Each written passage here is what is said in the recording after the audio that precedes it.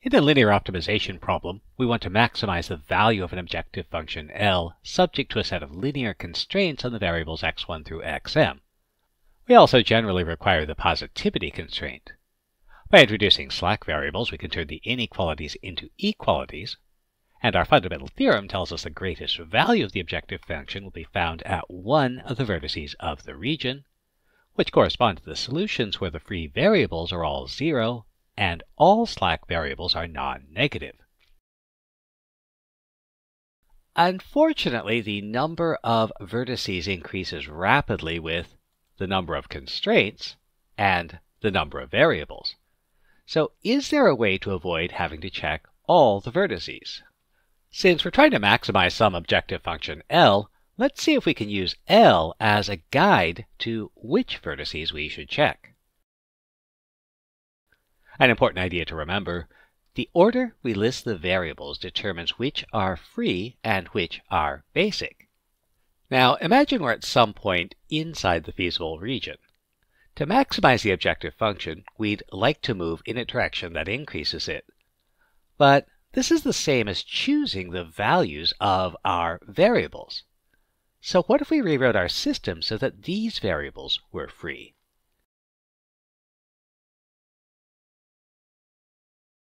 For example, suppose we want to maximize an objective function subject to a set of constraints and the positivity constraints. Since we want x and y to be the free variables, they need to be the last variables in our listing. Introducing these slack variables gives us our system.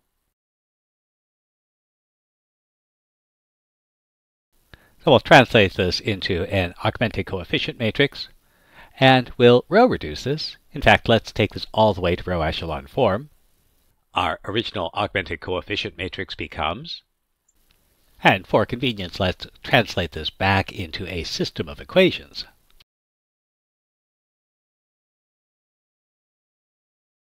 Setting our free variables equal to zero gives us the basic feasible solution. In this case, it's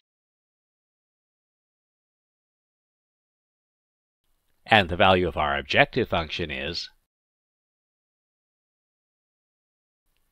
let's see if we can do better.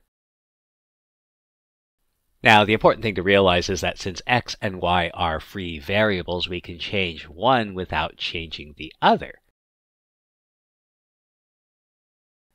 And because we started at x equals 0, y equals 0, and we required they be greater than or equal to 0, we can only increase them. So which one should we increase? Since our goal is to maximize the objective function, let's increase the variable that would cause the greatest increase in the objective function. So let's use methods from multivariable calculus. If we have to. But remember, the value of calculus is converting nonlinear problems into linear problems. In this case, since L equals 12x plus 5y, L will increase if we increase either x or y. But since the coefficient of x is greater than the coefficient of y, we'll get a greater increase if we increase x. So let's leave y at 0 and increase x. So how much can we increase x by? If y equals 0, our first equation becomes now, since x is a free variable and c1 is a basic variable, let's solve for c1, the basic variable, in terms of x, the free variable. Now, since c1 is a slack variable, it must be non-negative, and so we need, which we could solve,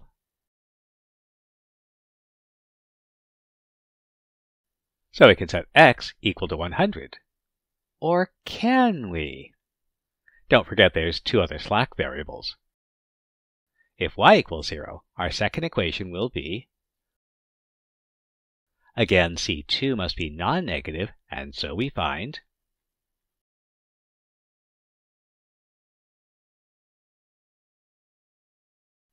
And if y equals 0, our third equation will be and in order to make C3 non-negative, we require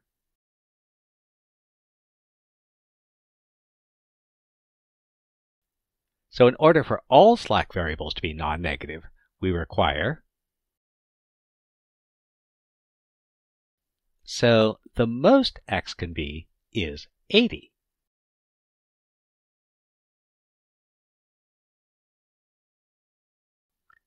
So if we set our free variables y equals 0 and x equals 80, then the remaining variables are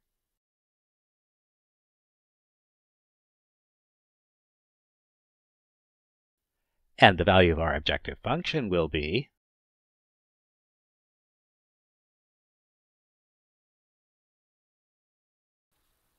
Notice our new solution is since our basic feasible solution is when our free variables are zero, this isn't the basic feasible solution. Or is it? Remember, the basic and free variables depend on the order we list the variables. This would be the basic feasible solution if our free variables were c3 and y. This insight leads to the simplex algorithm. The key ideas find the basic feasible solution, identify which free variable creates the greatest increase in the objective function, find the greatest possible value of that free variable. The solution will identify another set of free variables. So lather, rinse, repeat. Let's see how that works out.